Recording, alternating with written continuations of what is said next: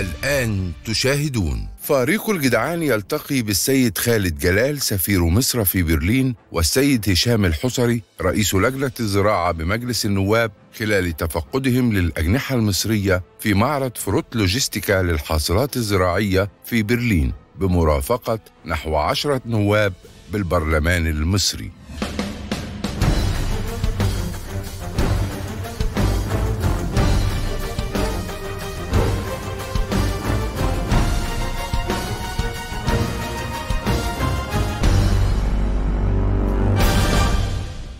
تعالوا بقى نقابل السيد هشام الحصري رئيس لجنة الزراعة بمجلس النواب واللي أكد إن هيبقى فيه طلب إحاطة عن أسباب توزيع الشركات المصرية في قاعتين في معرض Fruit Logistica وعدم التعاقد مع إدارة المعرض في برلين على جناح مصري ضخم بيضم كل الشركات المصرية زي كل سنة.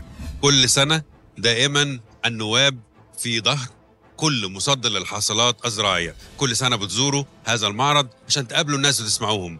السنة دي حضرتك بتقود عشر نواب جايين يسمعوا من الناس. أهم التحديات اللي رصدناها إيه؟ آه، الحقيقة إحنا يعني في مجلس النواب مهمومين بهموم أهالينا في مصر وخاصة يعني بناة مصر. آه، الحقيقة أنا بعتبر إن آه، كل واحد بيزرع في أرض مصر كل واحد النهارده بيشتغل عشان يقدر ينتج منتجات زراعية يقدر ينافس بيها على المستوى العالمي زي ما حضرتك شايف الزخم اللي موجود دلوقتي إحنا الحمد لله قدرنا نوصل لأن إحنا نعرف النمط الاستهلاكي للعديد من الدول ونبدأ الحمد لله نزيد من صادراتنا الزراعية المصرية. عايز أقول لحضرتك ان إحنا في 22 يمكن زدنا حوالي 10% صادراتنا في 21 كانت حوالي 5.8 من 10 مليون طن.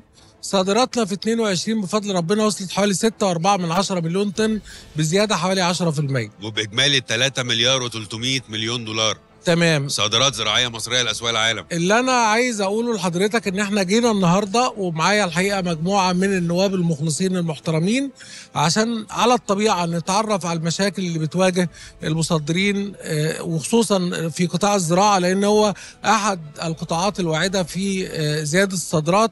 وده يعني الحقيقة بيتماشى مع خطة الدولة ورؤيتها في إن إحنا نزود صادراتنا ونوصلها إلى 100 مليار دولار. آه، ده مش هيجي لما نشوف كل القطاعات وخصوصا القطاعات الواعدة اللي حققت نتائج إيجابية على أرض الواقع ومنها آه، قطاع الزراعة. إحنا امبارح الحقيقة زرنا جزء من الجناح والنهاردة بنزور الجزء الثاني شفتوا ودي إحنا مقسومين بين جناح ودي وجناح حاجة الحقيقة بتزعلنا جدا لأن إحنا في آخر زيارة في 2019 كنا موجودين هنا وكان مصر عاملة جناح متميز جدا. كان عارض فيه على الأقل 91 شركة تقريبا في 2019 وكنا موجودين في مكان واحد. كان فيه هوية بصرية للمعرض قادر و- تقف قدام المغرب قدام تركيا. قدام إسبانيا. اللي يد... اللي كان بيدخل المكان يعرف إن ده جناح مصر طبعا. الحقيقة الموضوع ده أنا شايف إن هو يعني رجوع للخلف وده الحقيقة إحنا في مجلس النواب لن نقبله.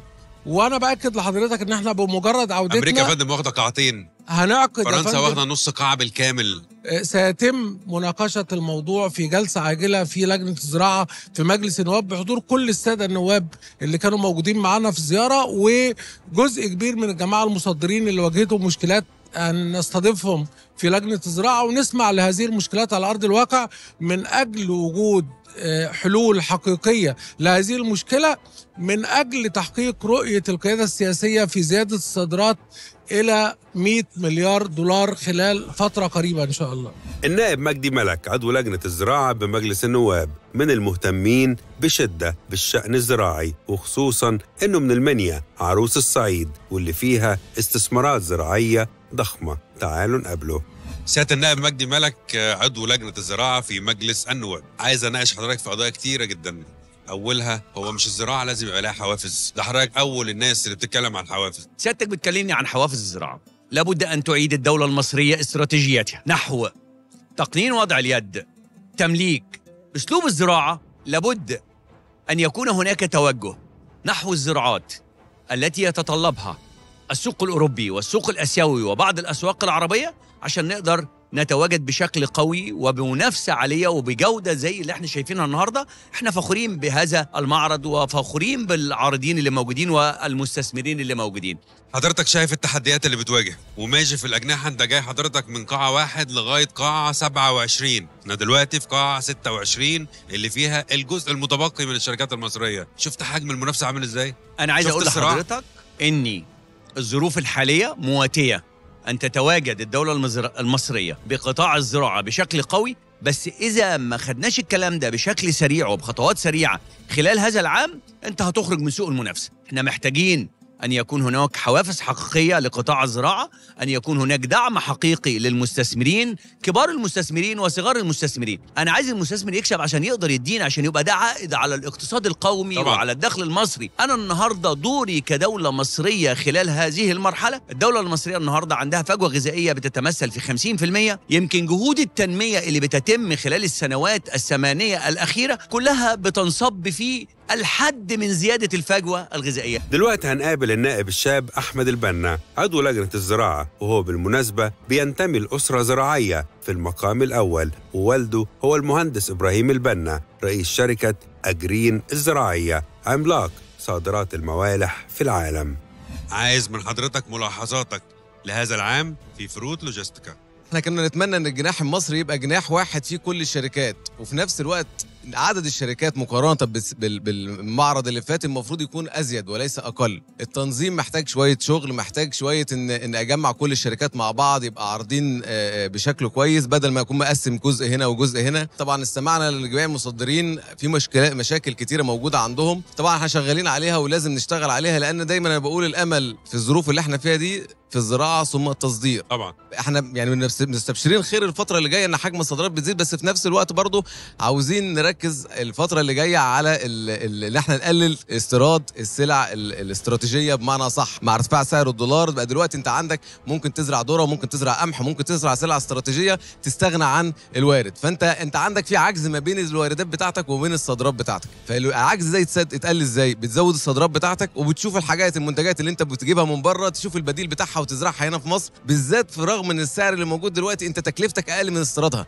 يعني أنا المفروض لو أنا مثلا جيت قلت بعد سنة مش هستورد ذره بس مقابل ده إيه؟ أجمع المزارعين وأجمع رجال الأعمال وأجمع أي حد مهتم بالزراعة عامة إن أنا أقول له إحنا عاوزين نزرع ولنفرض 2 مليون فدان 3 مليون فدان من ذرة ومن قمح من من.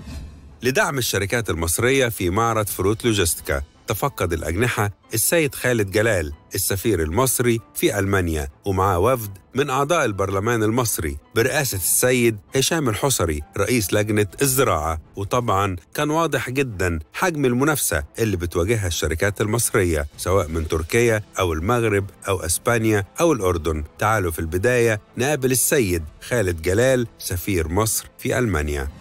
ألمانيا دائما هي أكبر شريك تجاري لمصر. إزاي نستغل ألمانيا؟ وهي دولة عظيمة جدا في إن كل صادرات مصر تبقى موجودة في قلب أوروبا. إحنا عندنا خطة كبيرة جدا خطة دولة حلم دولة 100 مليار دولار صادرات. ده نحققه إزاي؟ حلم ال 100 مليار آه، مع ألمانيا آه، قابل للتحقيق. إحنا من آه، خلال ألمانيا.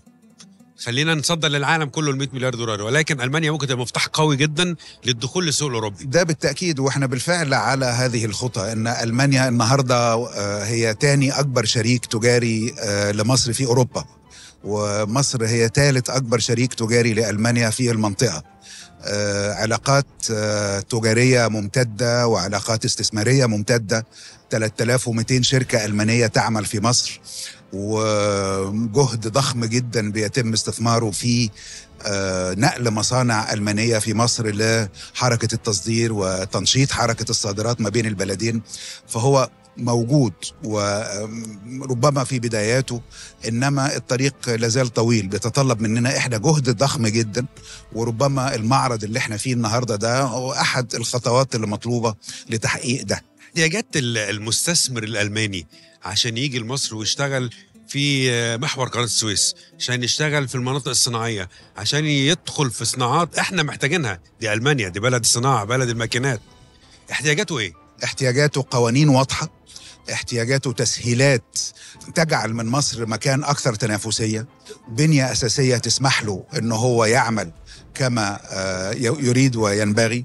وزي ما ابتديت إنه مظلة سياسية وهيكل سياسي يطمئنه على استثماراته ويطمئنه على أن له مستقبل في هذا البلد وإنه بلد مستقر. والحمد لله إحنا آم، قادرين نوفر ده. أكيد بيجي لحضرتك تساؤلات إيه وضع الأزمة الاقتصادية في مصر؟ ماذا يحدث في مصر؟ حضرتك بترد تقول لهم إيه؟ بقول لهم إن ما يحدث في مصر هو ما حدث في العالم كله بما فيه ألمانيا. يعني ألمانيا إحنا النهارده الحكومة الألمانية اضطرت إنها تصرف 300 مليار يورو علشان تواجه الأزمة اللي حصلت في بسبب الحرب الأوكرانية وبسبب الامدادات والصعوبات اللي حصلت في إمدادات ال- الصناعات وال- وغيره. وبالتالي ما حدث في ألمانيا حدث أيضا في مصر. ألمانيا بلد كبير اقتصاد قوي وصناعي كبير. آه، يستطيع انه يصرف 300 مليار. طبعا. في دول زي مصر دول ناميه في بتسعى إن هي تحقق تنمية اقتصادية واجتماعية شاملة.